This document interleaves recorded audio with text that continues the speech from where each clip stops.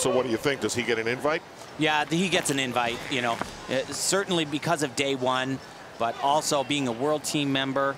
And he, he's potentially too valuable to the USA. No question he gets an invite. Oh, my goodness. And he is just really off he today. He has checked out. I, yeah, no, I got to say that the way he looks today, I don't know. I haven't heard anything. If, you know, if maybe he is not feeling well or is just a little bit beat up, but he does not in any way look like the Steven Legendre I remember in competition.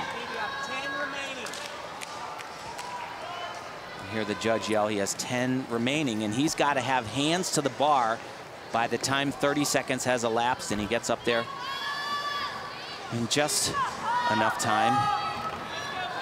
One more release here. That one was excellent. And another one. Beautiful.